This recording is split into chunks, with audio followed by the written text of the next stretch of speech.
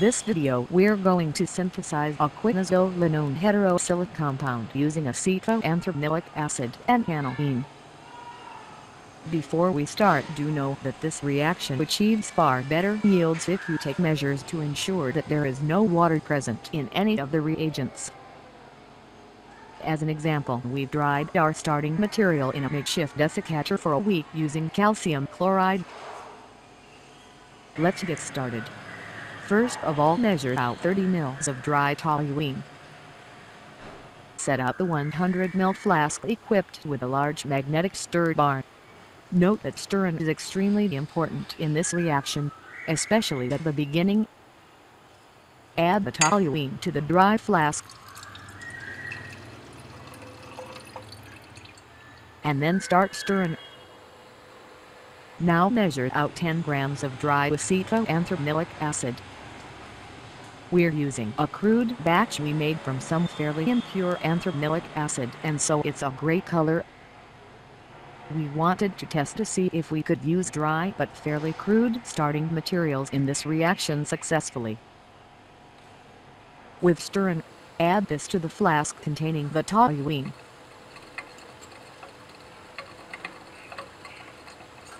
It won't dissolve much, but it will form a suspension. If your solid clumps together at this point then it is not dry enough and your yields will suffer badly. Now measure out a slight molar excess amount of your chosen aniline. We're using 5.5 grams of aniline here. As before we're testing to see how quality affects the yield so we're using an old bottle of aniline which is a dark color with a brownish tint. It is however dry.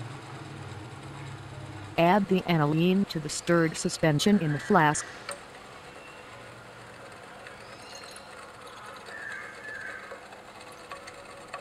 Use a small amount of toluene to wash the beaker and add to the flask.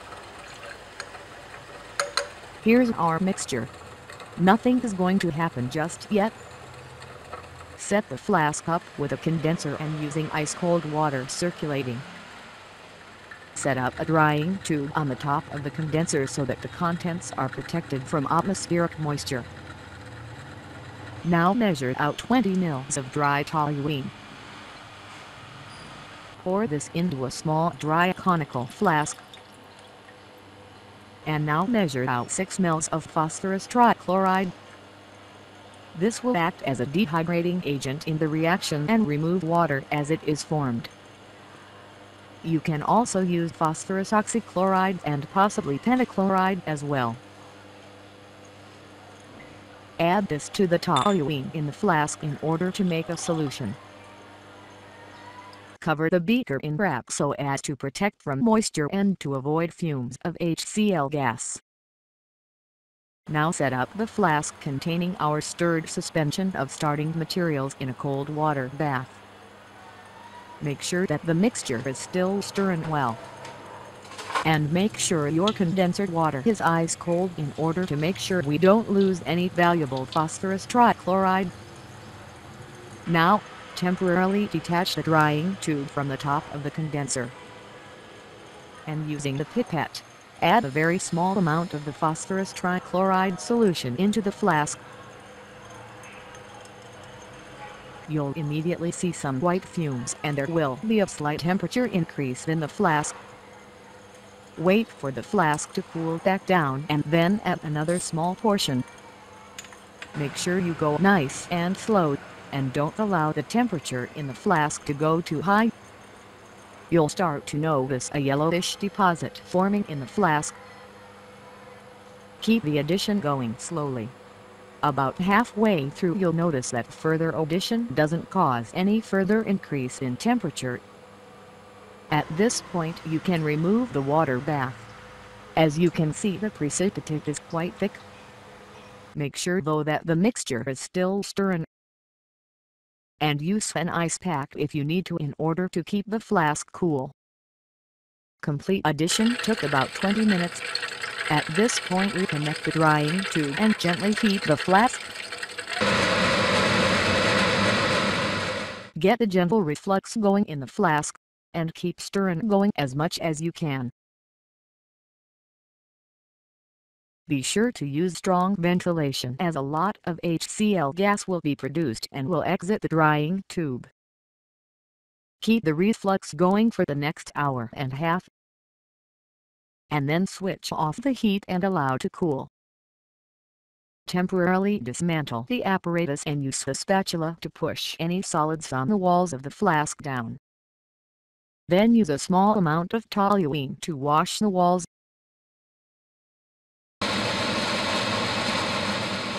Now set up the apparatus again, only this time for simple distillation. The aim now is to distill off about half the toluene and drive off any residual water azeotropically. We used some foil to insulate the still head and speed this up. A small amount of HCl was evolved during distillation, but not too much. After we collected 30 mils we turned off the heat and then allowed the flask and contents to cool down to room temperature. Now set up for vacuum filtration. Transfer the contents of the flask into the filter and then use a little toluene to wash out the reaction flask and add to the filter. Give the mixture a stir to make sure it's homogeneous. And then filter the solids until you have a semi-dry paste. Now prepare around 30 ml of toluene to wash the solids. Mix up well as before, and then filter again. This time keep the pump running and break up the paste occasionally to dry it as much as possible. Here's what we're left with. The dry mixture of our product, some starting materials, and possibly some inorganic salts. Crush this up into a fine powder. Since this mixture contains our product as a hydrochloride salt, we will first freebase this into an insoluble form by adding an alkali. Measure out 10 grams of sodium hydroxide. Add 80 ml of cold water in order to create a solution. And then add our crude product as you add the solid you'll notice clumps of sticky freebase product forming in the mixture. Stir the mixture very well for at least 20 minutes and break up the lumps to ensure complete conversion. Filter the sticky residue off, and wash well with a small amount of water. We're left with an unpleasant looking lump of sticky freebase product. Around 15 grams in total. Now we'll purify further by converting this back to the hydrochloride salt. Prepare a small amount of hot acetone.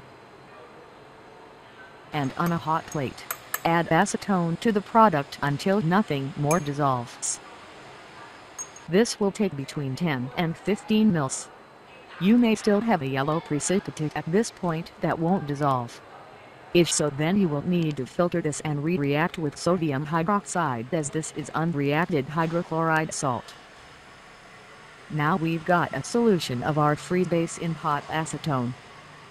Prepare 6 ml of concentrated hydrochloric acid. And, allowing the acetone to cool slightly, carefully add the acid. The mixture may get hot and even boiled, so be cautious.